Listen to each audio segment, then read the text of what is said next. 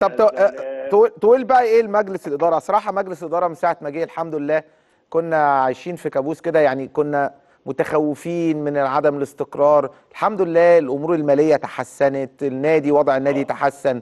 إت- يعني علاقتك إيه بالمستشار مرتضى منصور؟ آه، المستشار مرتضى آه، طبعا معرفة قديمة. مش عايز بس أقول إيه إن إحنا أصحاب وأصدقاء مش عايز أتجاوز إن أقول كده يعني. لأنه فعلا هو كان آه، في أوقات معينة زمان يا خالد آه. كان نعم الأخ والصديق. بقول فعلا لك بجد. والله. المستشار مرتضى. آه. آه وليه مواقف رائعة. آه. يجي بقى أقول لك حاجة أنا العضوية العاملة في نادي الزمالك كان السبب فيها المستشار مرتضى منصور كنت أنا وأحمد أدم كنا أصحاب يعني حبايبه وهو كان بيحبنا وبيحب يقعد معانا وبتاع. آه. ورحنا رحت أزوره بره. آه. أنا وآدم في مكان المستشار وكيل المجلس أيوه صح صح. آه. في ده أعتقد في بداية الألفية الثانية أو في التس... نهاية التسعينات أيوة. آه. آه. وقال لي بص هتعمل عضوية. قلت له حاضر عينيا. وعملت عضوية عاملة في نادي الزمالك. عائلية عضويه عائلية. آه، يعني آه. آه. تمام؟ أسرتي كلها يعني. آه آه. وبس بقى إيه أما جيت أدفع الفلوس ما جاملنيش ما وقفش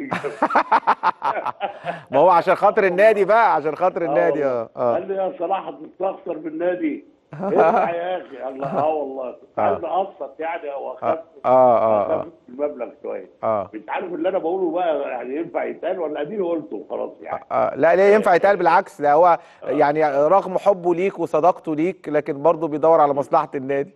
آه. أيوه أيوه دي حقيقة دي حقيقة. بقول لك حاجة النادي الاجتماعي في الزمالك في عهد المستشار مرتضى في أعظم وأحسن حالاته والكل بيشهد بده رغم إن أنا صحيا ما بقدرش أروح النادي آه.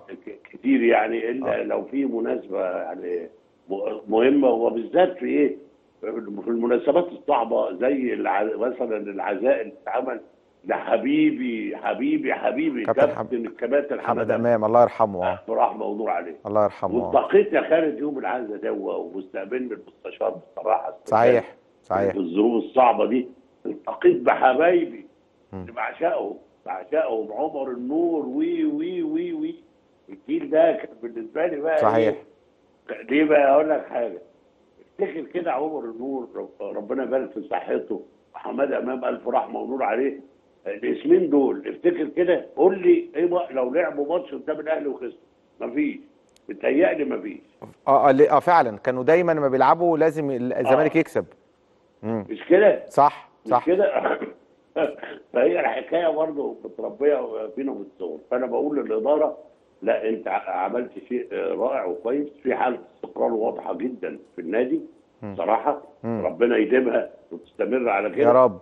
وبأكد على اللاعبين آه، لأن في ماتش آه، قريب. صح صح. آه، آه، آه، آه، في الدوري يعني أقول لك إيه إحنا كنا أحسن بكتير. مم. صح. كتير. النتيجة ما تقولش كده بسبب الأهداف اللي دخلت فينا. عشان التوتر اللي كان معلش توتر لازم نخلي بالنا من الحكاية دي التوتر اللي كان في خط الدفاع. صحيح صحيح. آه. فنان كبير أنا أنا بشكرك وبتمنى لك دايما التوفيق وسعيد بمداخلة حضرتك معايا وإن شاء الله بإذن الله أنا بكلمك بعد المباراة كده وإحنا سعداء وفرحانين بفرقتنا إن شاء الله بإذن الله وتكون المباراة طلعت بشكلها الجميل آه، بالنسبة للفرقتين والجمهورين إن شاء الله بإذن الله.